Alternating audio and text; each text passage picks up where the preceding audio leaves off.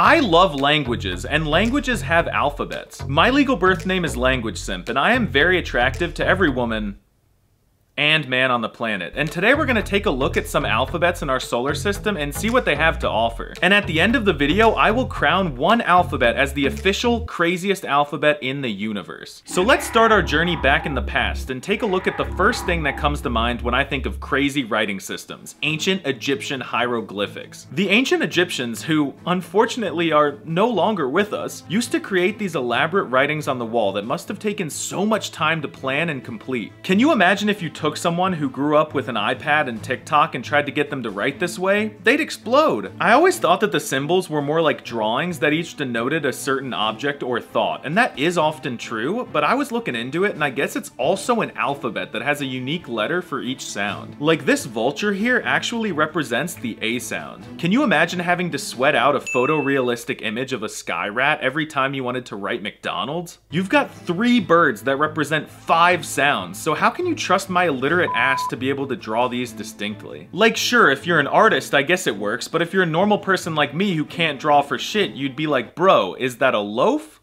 or a water? So yeah, hieroglyphics are wild, but the history is in the past for a reason. Let's go to the current default writing system, the American alphabet. It looks clean, simple, and aside from the lowercase j, I kinda like it. But thanks to President Obama, many other languages around the world now use the American alphabet, like the Germanic languages for example. The vast majority of the German alphabet is just like ours, very normal pilled and based, but then they got these four goofy goobers that collectively make up one of the main reasons why I'd rather go to France any day day than Germany. First of all, they pretend like these three are unique letters, which any rational person can see right through. Those dots are accent markers. You can't put accent markers on a letter and call it a new letter. That is an A with tennis balls on top of it, not a Eh, I have no idea what sound that actually makes. And other Germanic alphabets have similar problems. The Swedes got two double dot letters as well as this A with an Oreo on top of it, which is mind-blowing because Sweden was released in 1523 while Oreos weren't dropped until 1912. But the West is boring, let's go out east to where the Slavic lingos live. The Cyrillic alphabet today lacks pizzazz, and it honestly just looks like someone with my eye problem tried to copy the American alphabet but made a few mistakes. In the modern Russian Cyrillic alphabet, alphabet, you've got the normal letters that stick to the American dream, like the classic A, K, and T. Then you've got the Houdini, Abracadabra, Alakazam letters that were designed to confuse Westerners. This makes the V sound, this makes the N sound, this makes the R sound, and this makes a noise that I can't remember to save my life. And finally, you've got the letters that look like Pokemons and also kinda sound like them. Like, come on, this looks like a Magikarp, or at least some sort of fish. I want nothing more than for the Slavic languages to bring back the multi-ocular O, which was actually used once in history. But nothing in the Slavic world scares me as much as the Serbian alphabet. What the heck is this thing, and why does it look like someone could kill me with it? If you flip it upside down, it would be a good seat. Serbia is also guilty of creating these mutant letter hybrids that genuinely confuse confuse me so bad even as a Slavic language enthusiast. Is this an H with a little lump on the side, or is this an I with a B attached to it? And what on earth is the difference between these two letters? Fuck drawing birds, writing in Serbian would be even harder. Even harder than those marble statues that the Greeks are obsessed with. Wait, what are you doing? Why are you, the person watching this video, in the Greek alphabet? I didn't expect to see you here. You're right next to me, awesome. Honestly, the Greek alphabet became boring ever since the math nerds took it over. Like like Lambda, Theta, and Pi would have been so cool, but getting an engineering degree kind of ruined those for me. Oh, that and fraternities. It's so goofy how they just pick three random Greek letters and name their dangerous cults after them. So I'm really only a fan of the Psi because it looks like a freaking trident, as well as whatever this is supposed to be. It's like a Big Mac with just a burger and the bun. But just as almost all of the world felt during the last century, I'm sick of Europe. So what's the deal with Asian alphabets? I bet they have extremely normal writing systems. What's the biggest and most influential country in all of Asia? Say it with me.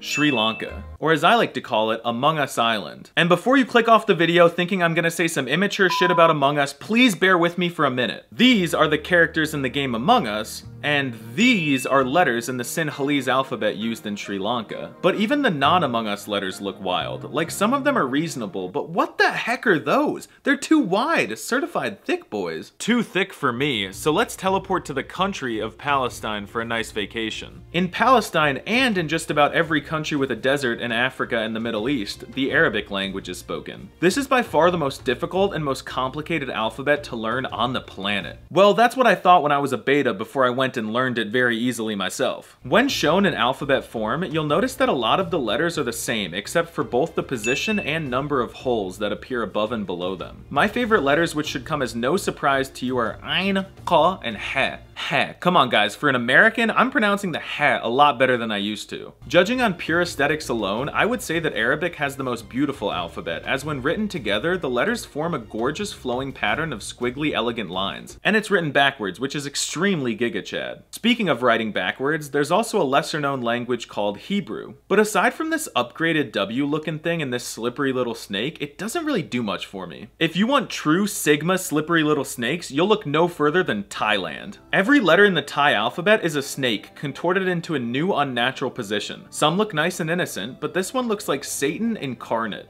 But holy crap, if Thai letters are little garden snakes, Cambodian letters are anacondas. Like, come on, that's gotta be the longest letter on the planet. It goes up and down and up and down and up and up. Albania will finish taking over the world before you're finished writing that shit. But not every letter in Asia is long and slender. In Myanmar, or Burma, they use circles as letters, which makes no sense to me because isn't it literally impossible for a human to properly draw a circle? Also, uh, that's a letter in Burmese. Similarly, there are a lot of circles in the Georgian alphabet used for the Georgian language spoken in Georgia, although most of the alphabet is just full of random things that I carry with me every day. They've got brass knuckles you could use to fight your way out of Atlanta, a ring that could go in your ear, a cashew, but my favorite one is probably this one, which I call the letter 3. 2.0. And I can't believe I'm saying this, but the normalest letter in the Georgian alphabet is probably Squidward's fucking clarinet, which makes the clarinet sound. Calm down, calm down. I know that doesn't really look like a clarinet, but it looks like some sort of musical instrument that you blow into. I don't know it because I'm not a nerd. The Armenian alphabet is also pretty wild, and I don't even know where to start with this one. They've got a balloon, a dollar sign, a dude sticking his arm out, and a dude sitting down without a head. But maybe it's just the lesser known, more niche Asian languages that have wild alphabets. Let's go look at the more mainstream Asian lingos. I prefer alphabets that spawned naturally, not ones that were created in a laboratory, so Korean writing kind of rubs me the wrong way. The alphabet called Hangul looks nice, but the way they combine symbols to form like little syllable chunks makes it too hard to read with my fucked up eyes. The letters themselves are cool though, I'm a huge fan of this stick, and this box. Japanese has like 1, 2, skip a few, 99, I don't know, like 3 alphabets that I could never begin to understand without watching tons of anime, which I've never done, so let's just skip those. Alright, who changed my shirt? I've never seen this girl in my life, this raccoon girl from that anime. I've never, I don't even know what that is. What are we talking about? So yeah, the Japanese alphabets are lit, and they've got three of them. Two of them are normal, and they suspiciously look a lot like what you would see on a menu in a sushi restaurant. They've got smiley faces, a box, and a line, which is all pretty good in the hood. But the third alphabet is just thousands of pictures that look like the thing that they denote. I mean guys, let's be honest, this bit never gets old. Like these two, I'm sure you've already guessed what those mean. That one is constipation, and that's a flamingo. It should come as no surprise that China also does the same thing, blah blah, this means person, this means biang biang noodles. Anyone with a second grade education can read Chinese in their sleep upside down underwater. But while researching for this video, I found something that truly will change my life forever, something something that changes the whole way I see the world. Apparently, people used to live in America before the United States of America, and these people have interesting alphabets too. But my favorite North American script is without question the Mi'kmaq hieroglyphs, also known as the suckerfish script. Unfortunately, none of the letters resemble whatever a suckerfish is, but you've got to admit that these exude a type of class and elegance that can normally only be found in France. But you know where humans spawned in the first place? Africa, and I'm happy to report that Africa is chock full of crazy alphabets. Like up in North Africa, there's a people group called the Berbers who have this crazy cool alphabet called Tifinagh. I think I might head into the Sahara Desert with no water this summer to try to find some of these writings IRL. The water would hold me back. They've got a percent sign, an umbrella, an umbrella with a cornflake, a cross, a cross in a box, an American football NFL goalpost, a caterpillar, and a caterpillar wearing a belt. But if you head a little south, I think I may have found one of the craziest writing systems used for the Vai language in Liberia and Sierra Leone. They call it the Vai syllabary, and I have no idea what a syllabary is. It kind of just sounds like a BS term that linguists invented to save their career. But yeah, the letters here are some of the most creative I've ever seen. It's got a little bit for everyone, like Applebee's. For the simple-minded folk, they've got this dot, this triangle, and this T. For the adventurous, they've got this lobster with one boxing glove, this lobster with two boxing gloves, and this steering wheel. But the craziest alphabet in all of the solar system is without a doubt the Lugaboob alphabet used by the Lugaboob people for the Ligaboob language spoken in Pennsylvania. It's hard to believe that this thing even exists, but it's based on the founder of the Lugaboob Church's cat who was very popular among the Lagaboob people back in the 1200s. My favorite letters are the standard vanilla cat, this cat with a basketball, this line, and this Ford F-150. Let me know which alphabet you think is the craziest in the comments, even if I didn't talk about it here. Remember to like the video and check to see if you're subscribed. I really want to hit 5,000 subscribers. Arrivederci.